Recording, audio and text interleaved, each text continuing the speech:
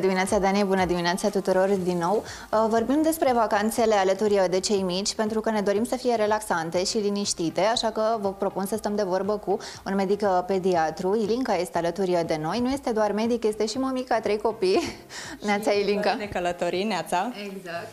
Uh, și o să avem nevoie de la tine de niște sfaturi. Uh, ce trebuie să ne luăm la noi atunci când mergem cu cei mici ca să nu ne îmbolnăvim și să nu ne stricăm vacanța? Eu, în primul rând, vreau să încurajez toți părinții să facă cât mai multe călătorii cu copiii. Sunt cele mai frumoase experiențe și astea le rămân o viață întreagă.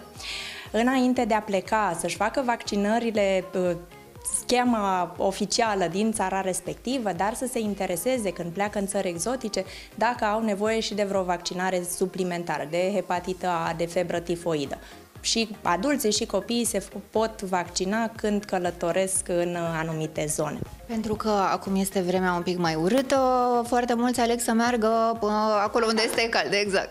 Toți fugim după soare.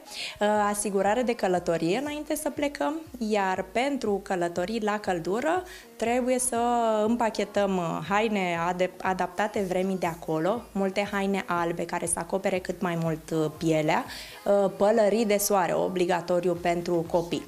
Când ajungem acolo, grija principală la căldură este mâncarea, unde mâncăm astfel încât să nu consumăm împreună cu vreo înghețată de pe stradă și vreun virus care ne dă o enterocolită, uh, scaune diareice, vărsături care la un copil poate să ducă destul de repede la deshidratare. Drept care, când ajungem acolo, dacă stăm la plajă, ne dăm cu factor de, cu cremă cu factor de protecție solară 50+, plus, uh, de dimineață până seara, de preferat în orele cu căldură maximă, între 10 și 4, să nu stăm prea mult la da, plajă. Să evităm expunerea la soare, la, la prânz mai ales. Uh, este risc și de arsuri solare, dar și de insolație.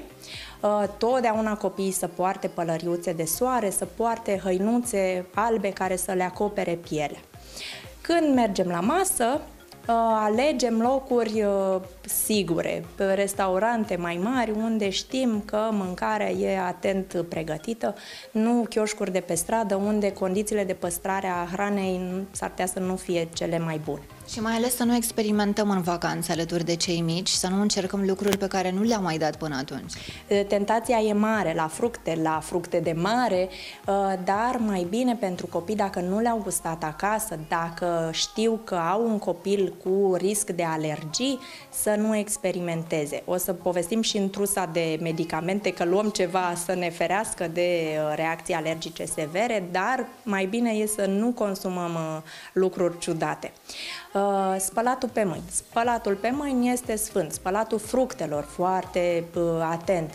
Totdeauna înainte să mâncăm, să consumăm ceva, cât mai des spălăm mâinile mâncăm uh, în locuri cunoscute și ne ferim de posibili alergeni, posibile alimente ciudate.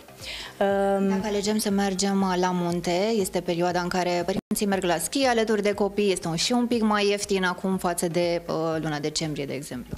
Um, e o idee foarte bună și asta, să mergem și la schi și acolo poate să fie soare. Um, Acolo riscul mai mare este de viroze și nu neapărat viroze că ieșim la aer curat și ne bucurăm de zăpadă, ci virozele pe care le uh, achiziționăm pe drum în aglomerații. Dacă mergem cu avionul, dacă stăm într-un aeroport, uh, Uh, aerul recirculat plimbă microbii tuturor uh, prezenți acolo și uh, există riscul să ne îmbolnăvim pe drum și atunci să suferim, să suferim în vacanță. În rest, în vacanță n-ar trebui să fie o problemă, stăm cât mai mult la aer, este sănătate pură.